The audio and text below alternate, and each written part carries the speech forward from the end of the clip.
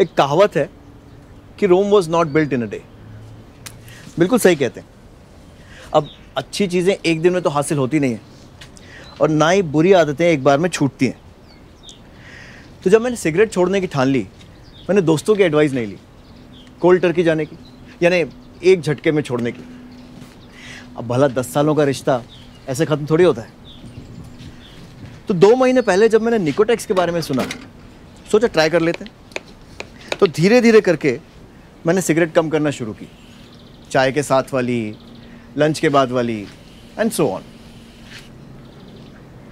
and now I am down to two cigarettes from twelve और अब शाम वाली। आज से ये भी बंद।